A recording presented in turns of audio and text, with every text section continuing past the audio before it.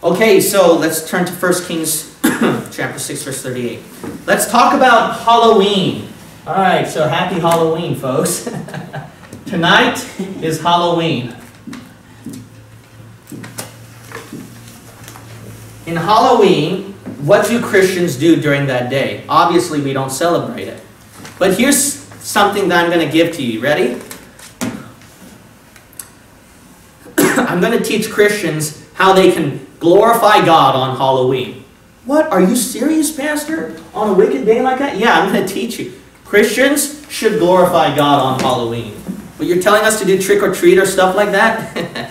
so let me first explain the origin of Halloween and explain how Christians should use this day for the glory of God. As a matter of fact, God considered that month to be something that you can use for His glory before they were celebrating this pagan day. So I'm going to explain some things here. First of all, Halloween, it, the origin came from two things. You ready? You probably didn't know this. It originated from two places. It originated from Celtic paganism. Yeah. And then the second place, which you probably wouldn't guess, some of the onliners could probably guess so, is Roman Catholicism. How about that? Are you kidding me, Pastor? No, I'm not kidding. I'm not kidding. It came from these two places, Celtic paganism and Roman Catholicism. You'd be shocked, you'd be surprised. How did Catholics get involved in that, preacher? Well, here's the thing. Celtic paganism, it took it as Samhain, or I don't know if I'm pronouncing that right. I don't know if I'm going to even spell it right, too. So forgive me if this is spelled or pronounced wrong. So they took it from Samhain, and then Roman Catholicism, it originally was All Hallows Eve. That's where Halloween came from. Halloween came from All Hallows Eve. So for Celtic paganism was Samhain, it was a day where they were, uh, they were commemorating the spirits being active during that time. And that time it was covering October 31st to November 1st. So from October 31st to November 1st, the spirits were very active during that time. That's what Celtic paganists, pagans believed. Whereas for Catholics, this is very interesting. They took it as a day of commemorating prayers to the dead saints. Now you notice how very similar the spookiness is. Basically the point is both religions, both beliefs share the similarity of doing something with spirits during that day. That should be very troubling to you. That should be very troubling to you. The pagans, what they will do is that they will have a bonfire lit and celebrate around it because they believe that the fire will protect them from the evil spirits right there. Whereas the Catholics, what they will do is that they will have fires lit around the graves so that they can pray to the saints on the dead graves. And in fact, I'm going to tell you this. There are Christian churches, I'm talking about saved Christian churches, who have their members go to the cemetery, they light up some fires around the tombstones there, and then some of those Christians would pray to their dead loved ones. And then they would have a red cross, a hmm. red glowing cross standing on it. That's pretty spooky. You would think it was a bunch of Satanists celebrating if you didn't look closely. Yeah. Somebody. Abstain from all appearances of evil, as the Bible said. Yeah. Abstain from all appearances of evil. Now, in Chick tracts, if you look at those Chick tracts, Jack Chick, he actually wrote that the Celtic pagans, they would go door to door asking for human sacrifice. Now, this is very interesting to know. Remember Satan? You know what he likes the most? You know what he likes to ruin? When Satan was tempting Eve at the Garden of Eden, why did he aim for Eve? It was the age in dispensationalism, unless you're a Bible believing dispensationalist, you'll know, it's the age of what? Innocence. You know what Satan loves to soil? He loves to soil innocency. That's the reason why he promotes fornication and homosexuality. He likes to destroy innocency. your innocent state. Now, who are, who are at the age of innocence? Children. That's why children at that age, the Lord God Almighty, at that stage of innocence, where they have no comprehension of the gospel or the sin nature, the Lord will allow them into heaven. But Satan, he loves to soil innocency. So during the Celtic paganism days, they would go around door to door asking for human sacrifice. Which particular human sacrifice does Satan enjoy when you read your Bible? Sacrifice of children, babies. That's what Satan liked. That's why, think about it, folks. Why is Halloween aimed for who? You notice that? Door to door. Door to door, children asking for trick or treat. How about that? But if that's not enough, so let's explain a little bit more right here. If they gave the human sacrifice to those uh, druids, Yep. then the druids they would leave a jack-o'-lantern in front of their door to ward off the, the spirits who would harm them. Now, if they didn't give the human sacrifice, then the druids they would either paint a pentagram or a hexagram of blood on the doorpost, so that the, so that a curse can fall upon them. That was the trick. See, Yeah. Yeah. that was a trick. Yeah. Now, here's the treat.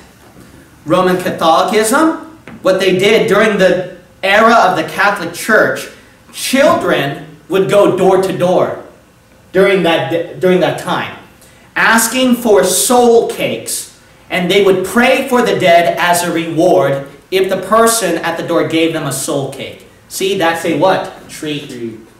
Wow, I didn't make that. Trick or treat. That's a good. How about that, folks? How about that? How dirty. How about that? These two are very intertwined. You'd be surprised. Oh, it's not a Christian religion. It's definitely not a Christian religion. It's a Christian religion born out of paganism combined. Yeah. That's what it is. And this one is complete paganism itself. This is where children got the idea of doing trick or treat, see?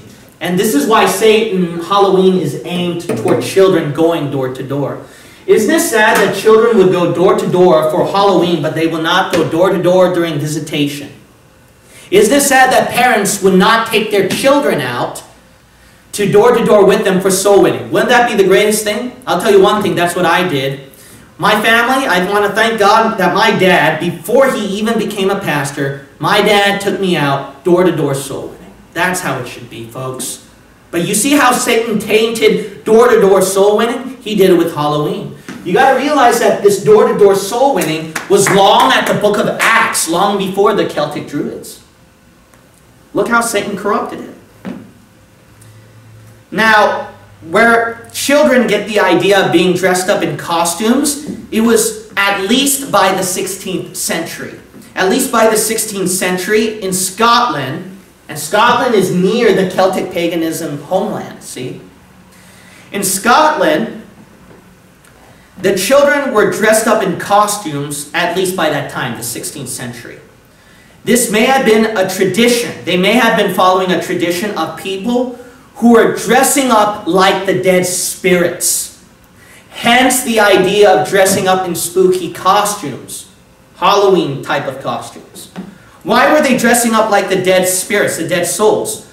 Because it was as a it was in order to protect them from the other spirits they would claim. Yeah. But they would dress up like the dead souls and they would receive the offerings from door to door on their behalf. That was at least by the 16th century they were doing that in Scotland. So we see from all this we, how Satan wants to take the most wicked holiday. This is the most wicked holiday to do the most wicked kind of thing, to taint little children. This is why Christians, Bible believers, strongly believe in never having children participate in this kind of a day. Amen. We strongly are against that. But here's the thing is that Christians, what we ought to do with our children is glorify God at this time. During this time, we should be glorifying God with that. We shouldn't let the wicked people, the lost world, take advantage of this day.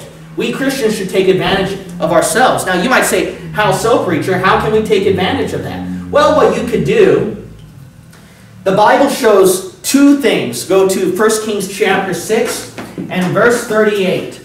The first thing you can do during this time of Halloween is worship God. Wait, wait, wait, wait, preacher. I thought we're supposed to avoid it. Yeah, worshiping the devil. Doing the, do, following these practices. That doesn't mean you can't worship God. That's what we're doing right now. On Halloween, you know what we're doing? We're worshiping God tonight.